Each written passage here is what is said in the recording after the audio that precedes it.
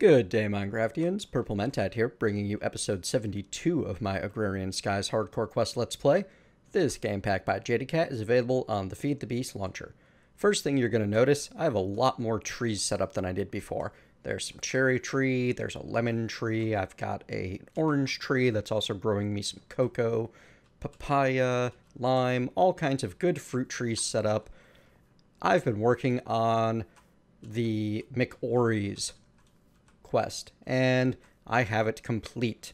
If I take a look in my quest book, in Bragging Rights, all quests completed, the final bit of McAurey's, and just so you can understand the magnitude of what you're getting yourself into with this quest, there's a lot. There is a lot of a lot. I'm going to claim my reward, open up my epic reward bag. Not even a legendary reward bag for that, just epic. And I get a 64k storage cell, which currently has nothing in it. Awesome.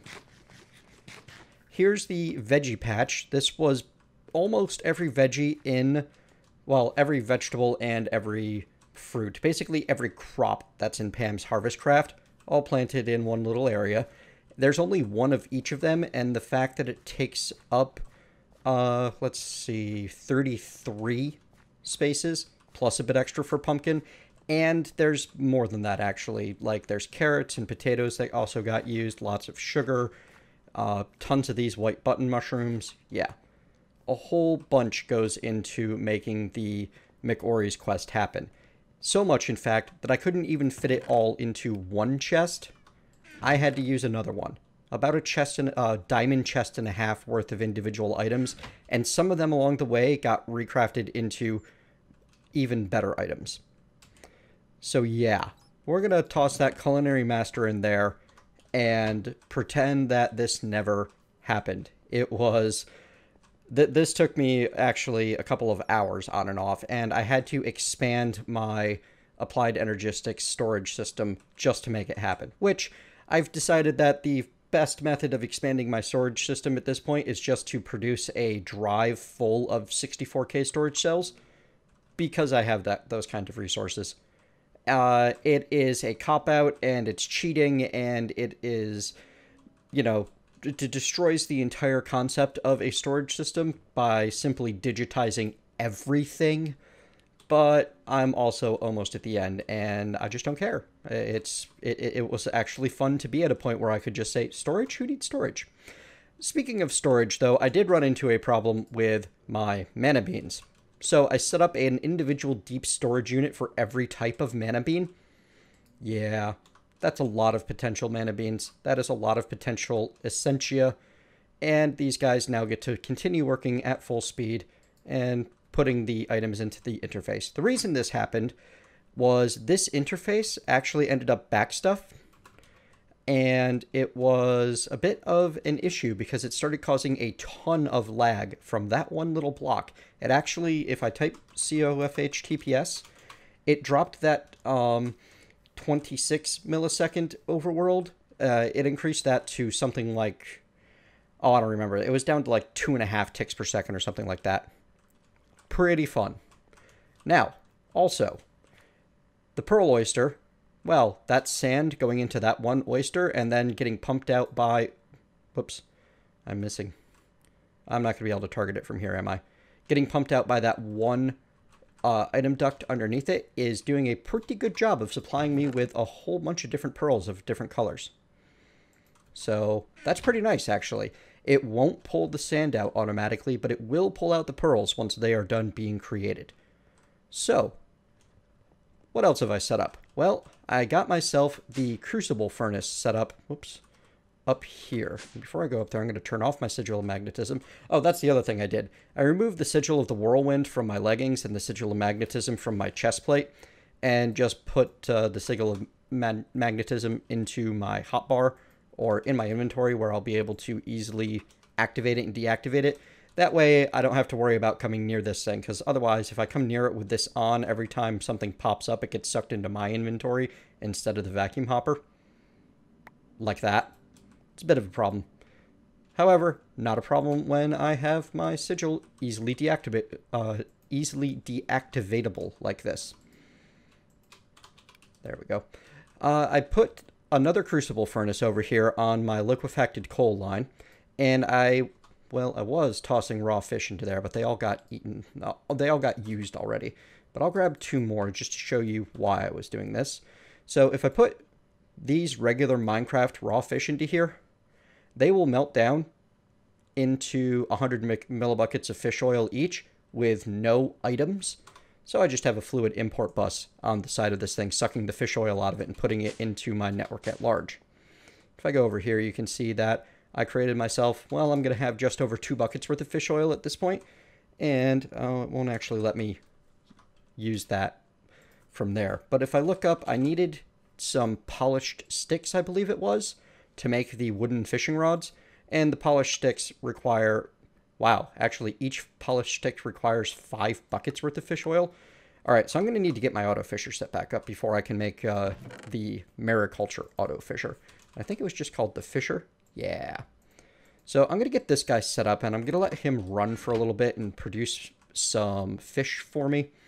And the way I'm going to do that is I'm honestly going to keep cheating with Tesseracts. I know that some of you feel that I do too much with them. That's okay. Y you can continue feeling that and I will continue abusing the heck out of them. So this is going to go on my default. It's going to, whoops, nope, default. It's going to receive energy. It is going to send items, and I don't think it needs to send fluids, but it will anyway. And there we go. It will, hmm, can it not work from there? Interesting. That's okay. I can always move it over a bit. It might not be happy that there is a oyster underneath it there. So if I put it there, it should work a little better, I think. Yes, now it's working just... Maybe it's not working just fine. What seems to be the problem there, Fisher? Let me look into this. I'll be right back. Here's the issue. The Fisher actually needs a 3 by 3 by one pool of water. So it needs to be these nine uh, uninterrupted, uninterrupted blocks of water. And this item duct was in the way, stopping it from being able to do its, uh, do its thing properly.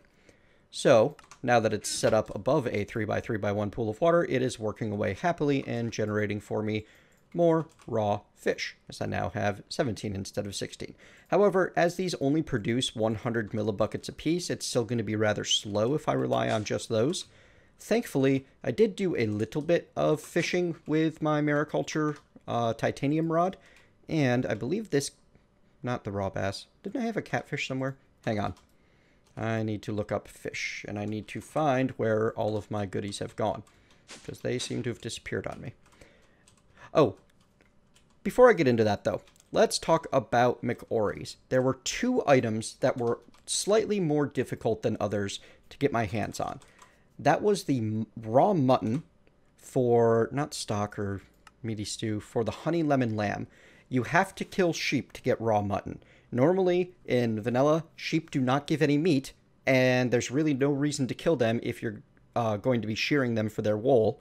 So I did not even think that I would need to do that until I discovered that this was there. But if I click on it or tap R on it, there's no way to know like where it comes from. Also, if I grab out some water, you need to put some fresh water into this presser, which will slowly start processing. And you're going to need this to make the lemon lime soda. You only need the one soda, but putting the fresh water in there creates your bubbly water, which is required to make any of the sodas. Lemon Lime is the only one that's in the quest. So, those are the two items that you could not just look through NEI and find exactly where they come from. Just a heads up in case you end up needing to go through McAurey's. Basically, everything here you can find out just by looking up the recipe in NEI, and if you don't have the plants involved, the fruits or veggies that you need, you can look up their seeds or their saplings or whatever, almost everything is really easy to sort out yourself. It's just the soda and the raw mutton that threw me for a bit of a loop. Okay. Ah, here we go. I knew I had some more fish somewhere. Raw rainbow trout, raw catfish, squid. Yeah, I did a little bit of fishing. Not a ton. I don't know why I have an Archmage's Blood Orb just kind of hanging out there, but he can keep hanging out there. So if I use this cod in a Crucible Furnace, that's worth 20, uh, like two and a half buckets of fish oil. The damselfish, I don't think I can actually toss into a... So I believe if I take that damselfish and I toss it on the ground and I give it a moment, it will turn into a raw damselfish. Once I pick it back up, now I have a raw damselfish.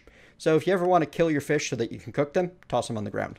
And as you can see, all of the mariculture fish give a lot more fish oil than the vanilla fish.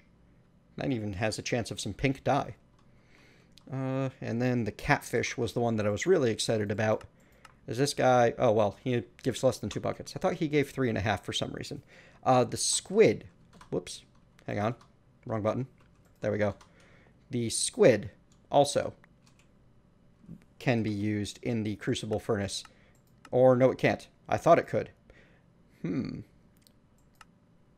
That's odd. Anyway, moving moving right along.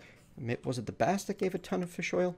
Yes, four buckets worth of fish oil out of one raw bass. So I'm going to go get these fish melted down into fish oil for me. And when I have myself a whole bunch of fish oil and I'm ready to make some polished uh, sticks, I will be right back. Hey folks, I figured as long as I'm doing a whole bunch of work on my crucible furnaces and I need them to go a little faster, why not upgrade them? So you can make your hyperkinetic upgrades. Uh, I'm going to need some ice. That's okay. Hang on. So step one, of all of this is I'm going to need to get glacial precipitators set back up. I don't know why I don't have them right now, but I don't. So I'm going to grab all three of them. And let me go get those set up, producing me a Jabba barrel worth of ice. Be right back. All right, got some ice generation going on here. Have glacial precipitators being supplied water in the bottom, exporting ice out the top into a better barrel, which is going to have a storage bus living on top of it. And to supply power, I just have a Tesseract in the back because I couldn't be bothered to run redstone energy conduits everywhere. Just wasn't going to happen. So, now I've got my ice going on. Now I can show you those hyperkinetic upgrades. So I taught my system how to make each one of these hyperkinetic upgrades. And they are fairly simple. First one, just some iron and some sugar. The upgrade requires the basic and add some aluminum and more sugar. The upgrade from that requires titanium, more aluminum, and some ice.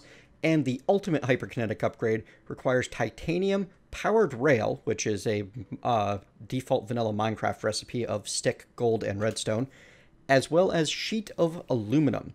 And I'm going to toss in some of these aluminum sheets, and I'm going to tell it to make me three of these while I go back to showing you how these things function. Hmm. Did you get stuck on something? I'm out of titanium. What? That's not right. Shouldn't you still be producing more titanium for me up here, system? Oh, you know what? It's producing titanium blocks and it doesn't know how to unpack the blocks, does it? Yep, that's the problem. That's an easy fix. One of those in-process bugs that, uh... Oh, nope, nope, not like that. Like that. There. Now it knows how to make titanium for me.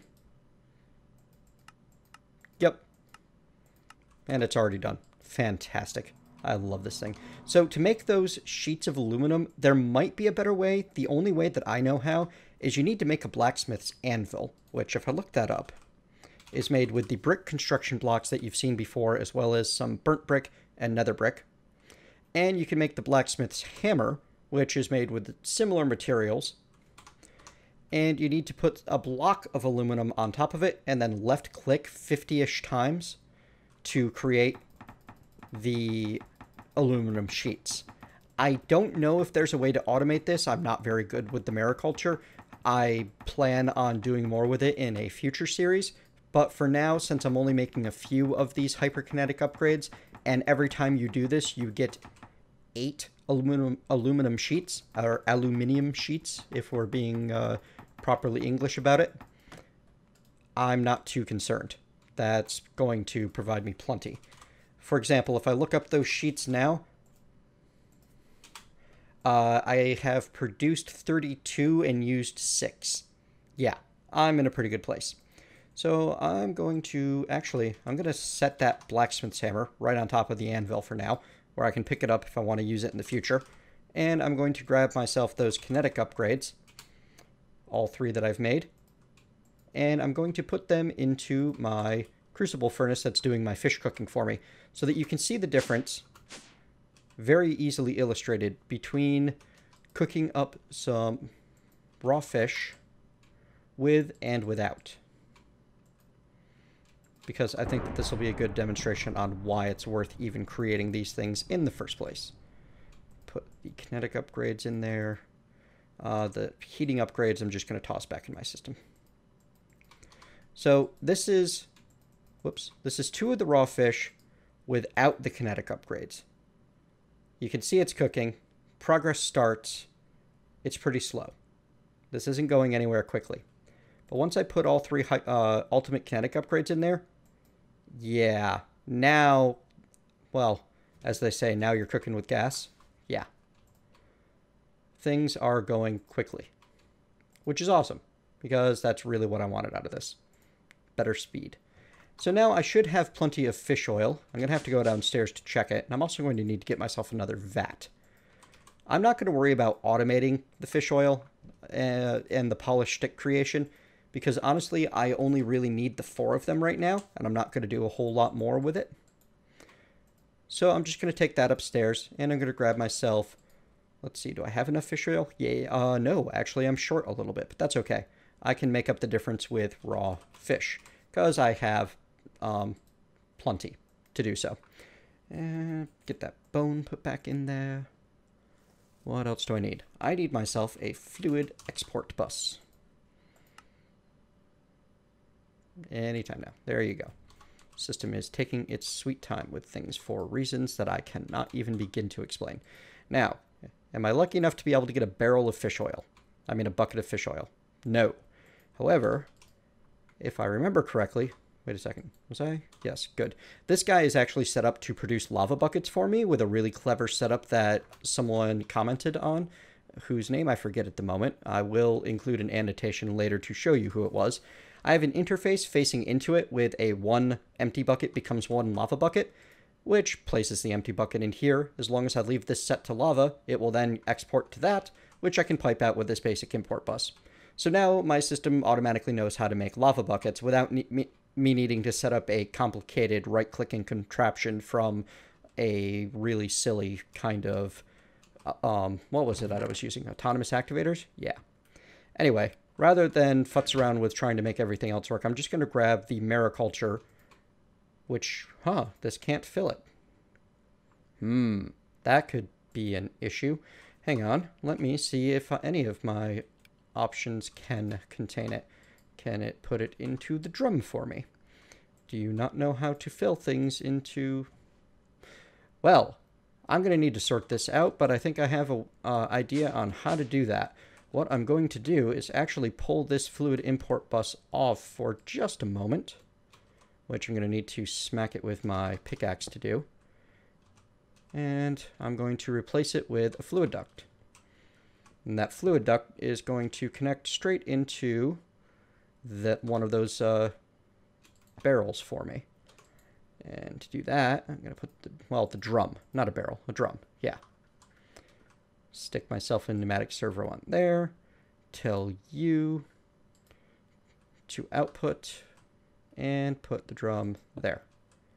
And now I'm going to temporarily activate my sigil of magnetism to make that fluid import bus stop bouncing everywhere. Now I'm just going to toss my raw fish in there, and it should only take a second. There we go. That's all I needed. Um, hmm, wait, I put in too much. Stop. Right. So now I'm going to put that drum back on there and let those fill up and empty out the fluid duct. There we go. So the reason I did that is now I have a container that has any of the proper fluid in it. I can use that to set the target output. If I come, well, you know what? We can actually build it right off of here.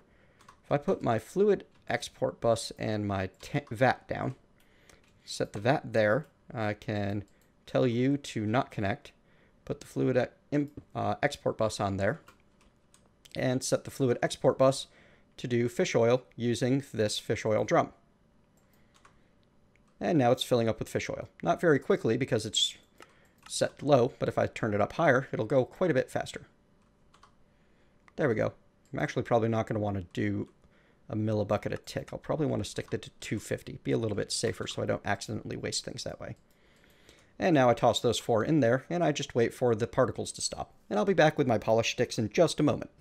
One little tip on producing fish oil, in case you were like me and forgot that you needed six polished sticks instead of just the four. When you're in the crucible furnace and you mouse over anything, it tells you how the melting point and how much you get out of it. All right, we are winding down at, on fishing at this point. I have one of my wooden fishing rods completed. However, I would be remiss, as long as we're talking about automated fishing, if I did not talk about the blood magic integration. If I take a titanium fishing rod and toss it into an activated ritual of binding, I will get exactly what you would expect out of it.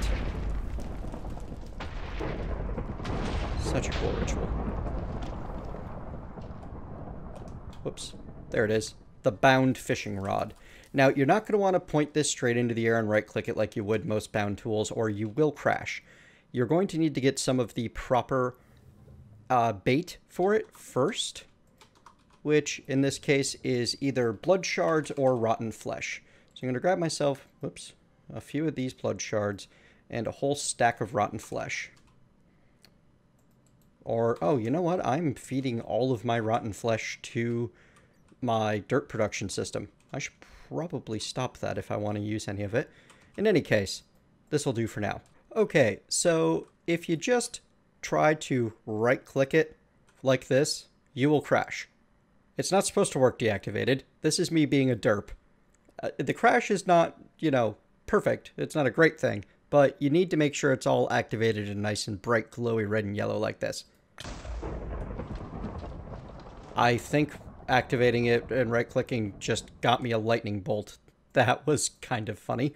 Anyway, this is a fast way to get bunches of fish because you can literally hold right-click and burn through a bunch of uh, blood shards all at once. And look at all those fish all over the place.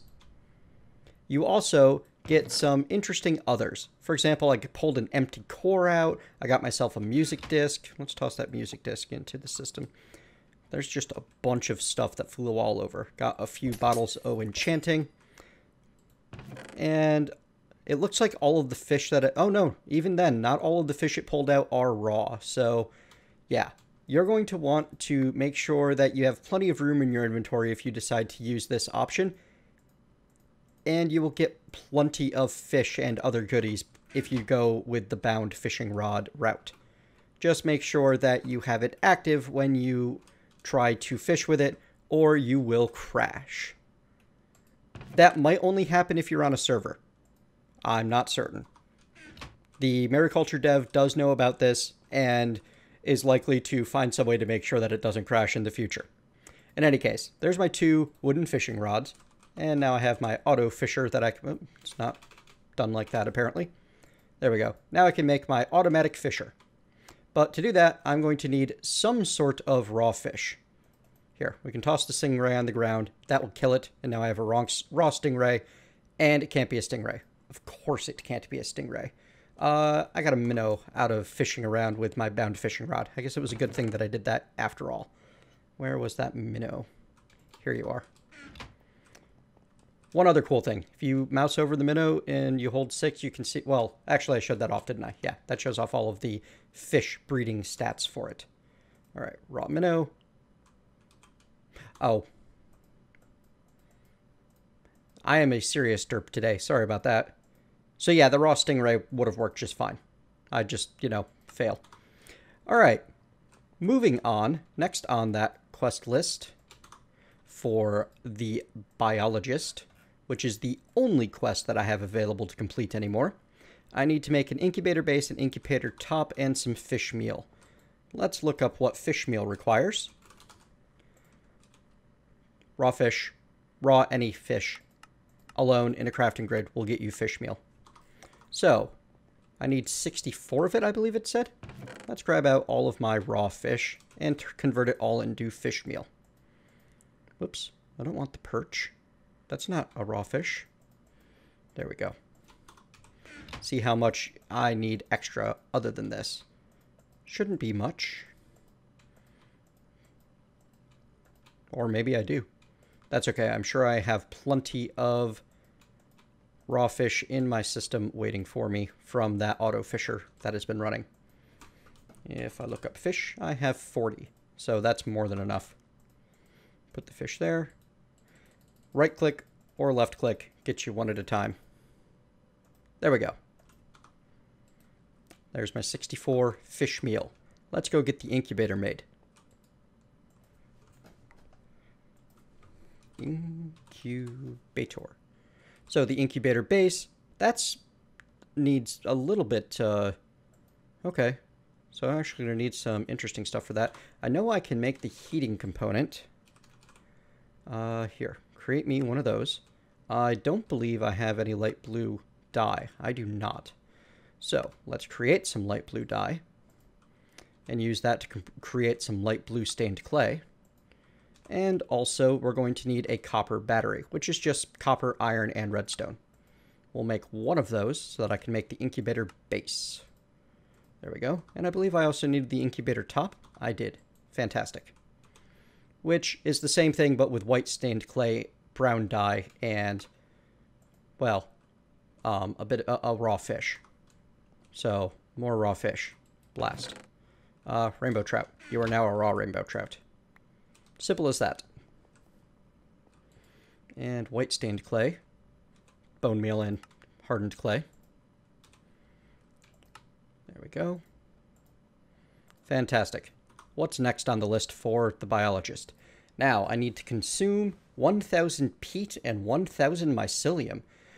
So, peat is an interesting one. To make peat, you would normally need to create, oh, is it the peat block? No, it is bog earth.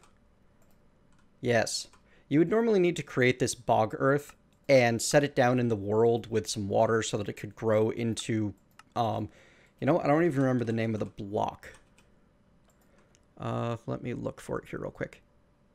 Oh, it would just grow into finished bog earth, I guess. I don't remember the details. It's been a long time since I've made peat with forestry. In any case, you craft yourself bog earth using dirt, sand, and water, and you place it down into the world. The water cans give you more of it because you're consuming the can as opposed to the bucket where you get your bucket back. You can also use water capsules, which are effectively free if you're making a bunch of bees. Or you can put it all into a carpenter and, and use a bit of mulch, which is created by, well, I guess you can use bark from extra trees.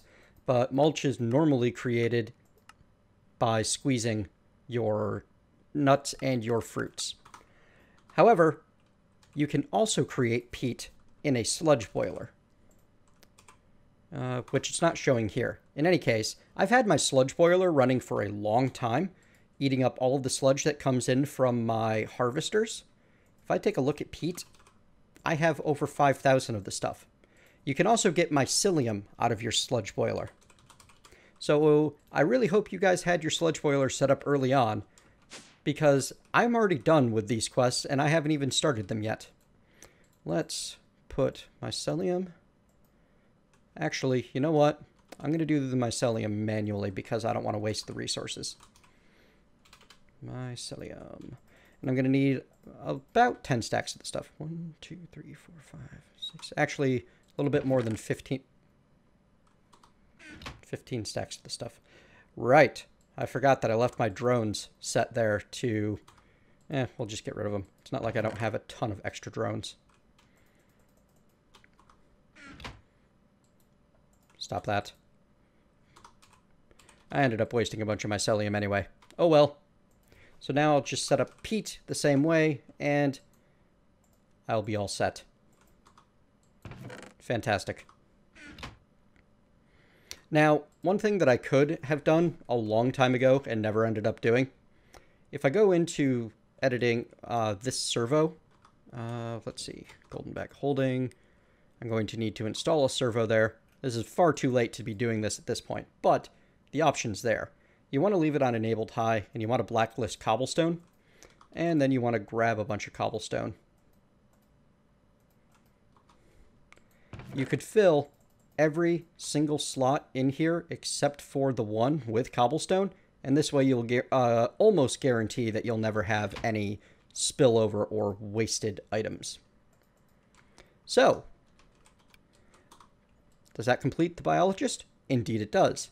Gives us one more heart and our reward bag, which is a greater reward bag containing a book with Unbreaking 3. That's going to be all the time that we have for today. Tomorrow, one final quest. However, before I finish off that one final quest, I would like to do an episode where I show you guys Mariculture jewelry and everything that it can do for you. Thank you very much for joining me. I hope you've enjoyed this episode. If you have, please leave a thumbs up and a comment telling me what you liked about it. If you have not, please leave a thumbs down and tell me what I can do better. And I will see you next time.